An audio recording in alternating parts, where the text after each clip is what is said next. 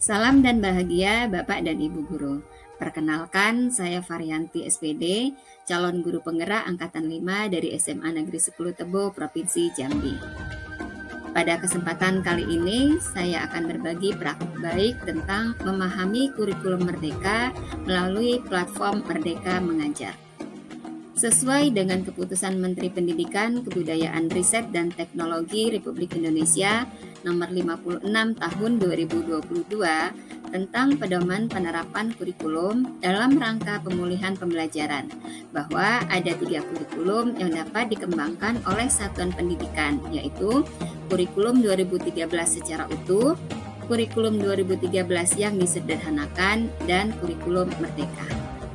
Sebelum kita bahas lebih jauh tentang kurikulum merdeka, berikut ini adalah beberapa istilah perubahan yang berlaku dari kurikulum 2013 ke kurikulum merdeka.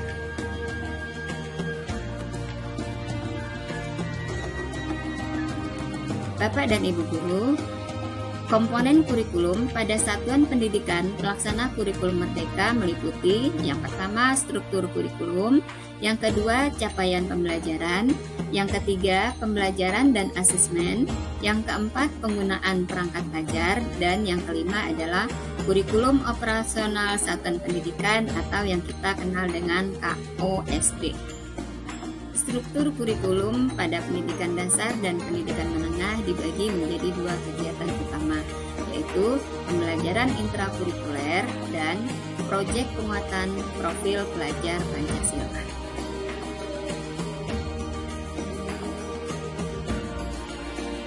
Satuan pendidikan menambahkan muatan lokal yang ditetapkan oleh pemerintah daerah sesuai dengan karakteristik daerah Satuan pendidikan dapat menambahkan muatan tambahan sesuai dengan karakteristik satuan pendidikan.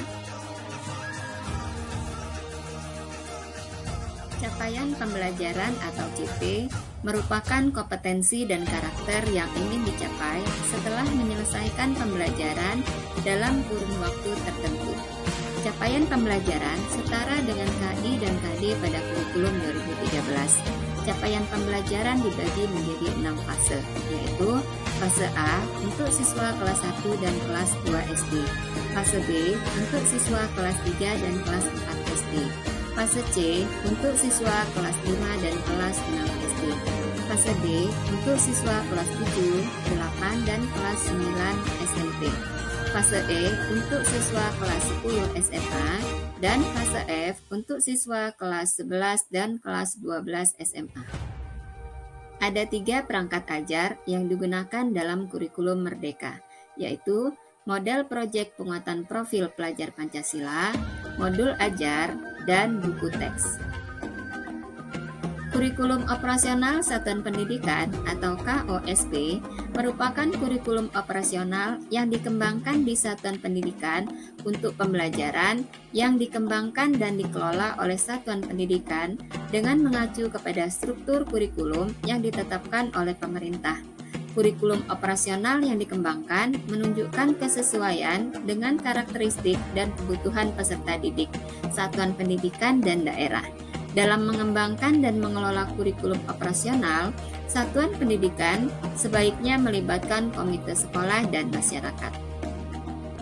Ada tiga pilihan dalam mengimplementasikan kurikulum merdeka jalur mandiri yang bisa diaplikasikan oleh satuan pendidikan, yaitu mandiri belajar, mandiri berubah, dan mandiri berbagi.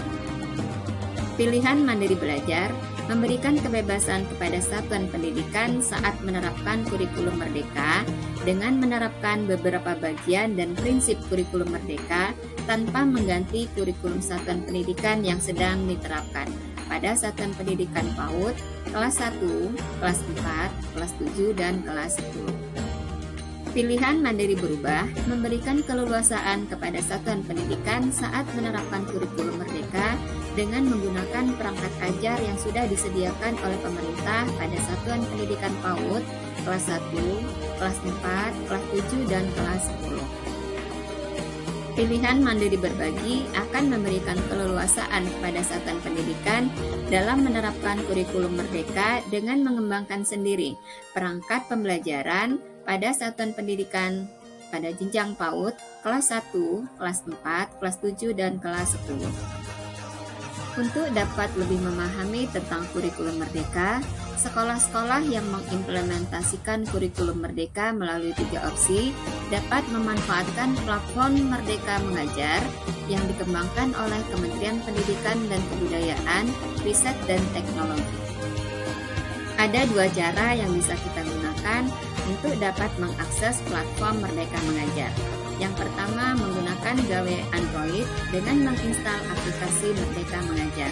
Yang kedua, menggunakan laptop dengan mengunjungi laman guru.kemdikbud.go.id. Berikut ini adalah tampilan beranda platform Merdeka Mengajar yang kita akses menggunakan laptop ataupun menggunakan gadget kita dapat menginstal aplikasi Merdeka Mengajar Kemdikbudristek pada gawai Android dengan mendownload aplikasi melalui Play Store dengan mengikuti langkah-langkah aplikasi sebagai berikut. Untuk dapat mengakses platform Merdeka Mengajar pada laptop, silahkan Bapak dan Ibu ketikkan guru.kemdikbud.go.id pada browser laptop Bapak dan Ibu. Berikut ini adalah menu-menu yang tersedia pada platform Merdeka Mengajar. Semua menu ini bisa kita manfaatkan untuk lebih memahami tentang kurikulum Merdeka.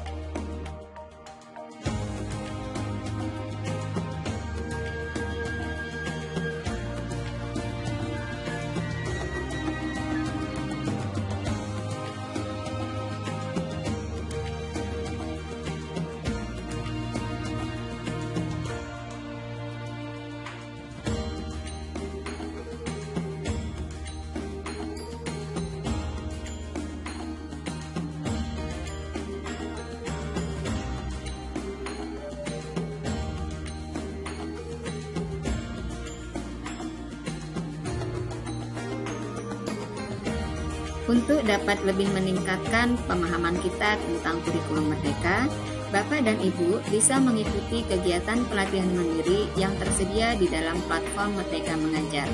Caranya, Bapak Ibu cukup masuk dan login dengan menggunakan akun belajar yang sudah Bapak dan Ibu miliki. Ada beberapa topik pelatihan mandiri yang bisa Bapak dan Ibu ikuti pada platform Merdeka Mengajar yaitu Merdeka Belajar, Kurikulum Merdeka, Profil Pelajar Pancasila, Perencanaan Pembelajaran, Asesmen SMP, SMA, SMK, serta paket B dan paket C, penyesuaian pembelajaran dengan kebutuhan dan karakteristik murid, proyek penguatan profil pelajar Pancasila, serta disiplin positif.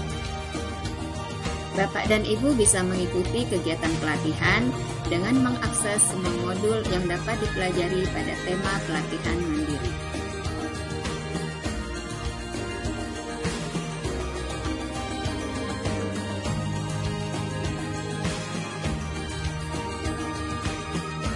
Terima kasih Bapak dan Ibu guru hebat. Selamat mempelajari kurikulum Merdeka bersama platform Merdeka Mengajar.